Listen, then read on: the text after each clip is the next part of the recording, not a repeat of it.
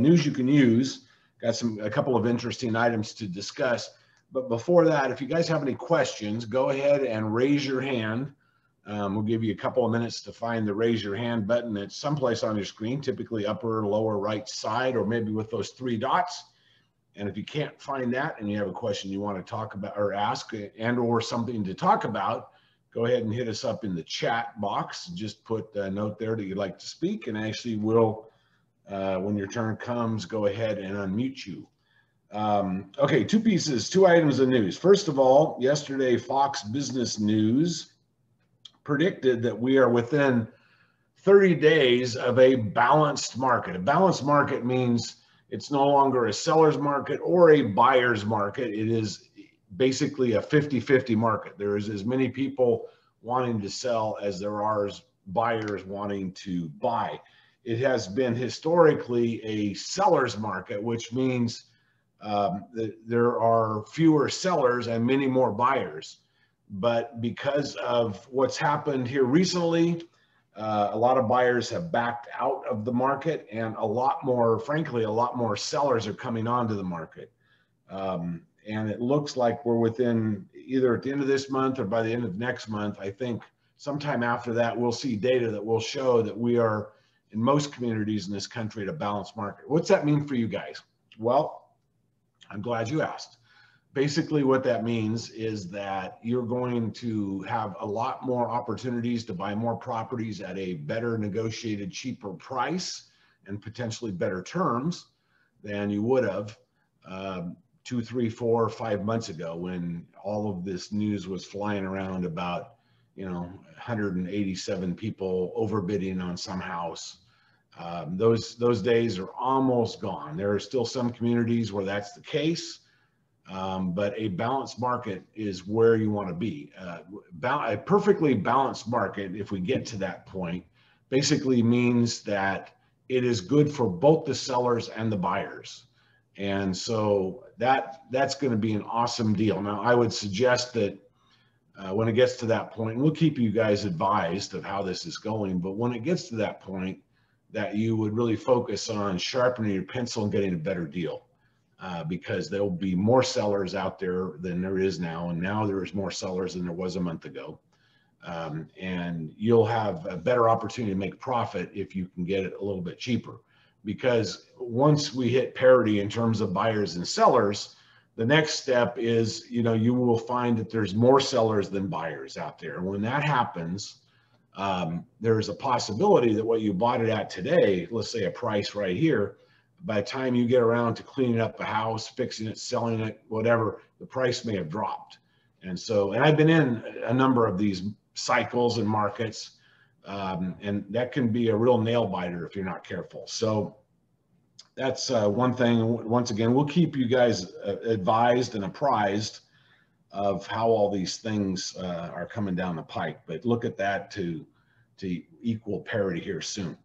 Um, second article, a, the Urban Institute has uh, given out a study, and this deals with FHA loans. FHA loans are essentially, as you guys, most of you know, they're government-backed loans that are designed to help primarily first-time home buyers uh, or lower income folks get a home uh, with a smaller down payment. Now, typically conventional loans will require a 20% down.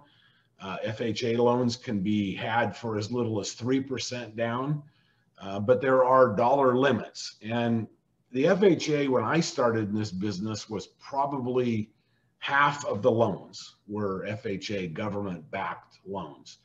Uh, the last from 17 to 19, uh, 17 to 19 to 2020, approximately 20 up to 24% average during that period 22.8% of the loans were FHA. They've gone down dramatically because some of the programs that lenders have come out with have allowed for lower down payments along with private mortgage insurance and it's a better way to go.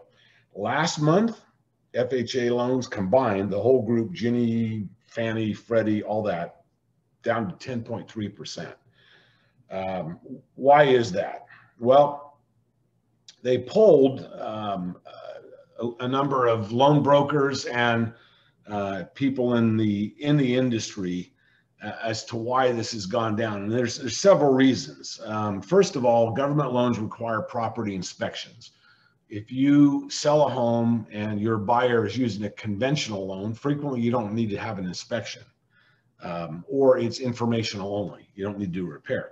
If you have a government or FHA loan, um, they're they're there to detect. The inspections are there to detect things like uh, risks such as lead-based paint, falling roofs, appliances near, that are nearing the end of their useful life. Um, and in many cases, if the appraisal comes in less than the agreed upon price, the FHA and the VA will require that you as the seller drop your price to meet the appraisal.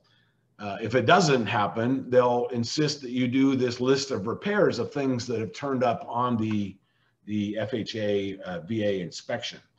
And so sellers have just said, or they've learned over the last year, especially this year, you know, basically fooey on that. They're not going to deal with that junk anymore.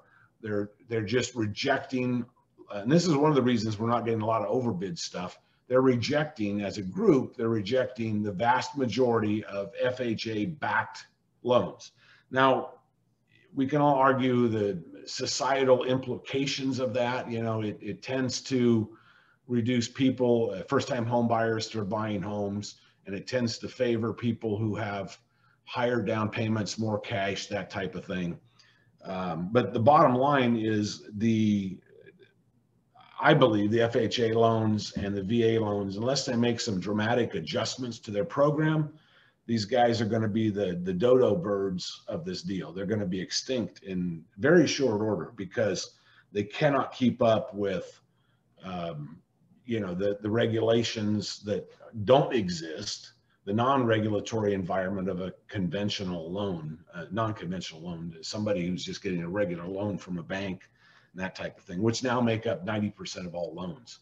So that's good for us as sellers because and frankly if you have a choice i would reject an fha va loan because they've not changed their loan criteria since i started 20 plus years ago in this business and they are draconian. I mean, and it, there's downstream effects of these inspections, not just you may have to drop your price, but things like it takes much longer, almost twice as long to close an FHA loan. There's a lot more paperwork.